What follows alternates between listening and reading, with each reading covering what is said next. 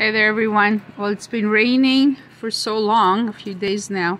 We have a little um, pond that's been created way down there. and there's Dusty having a drink of water. Like he doesn't have enough water in the house. That's my cat there, Dusty. Anyway, and yeah, and this morning we woke up to snow.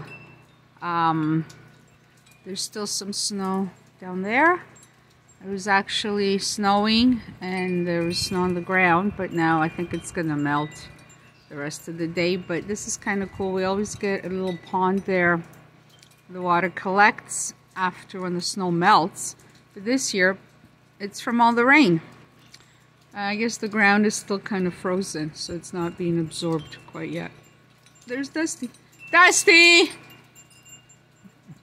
What are you doing down there? Yeah, that's you. Come on. anyway, he's walking back home. Bye, everyone.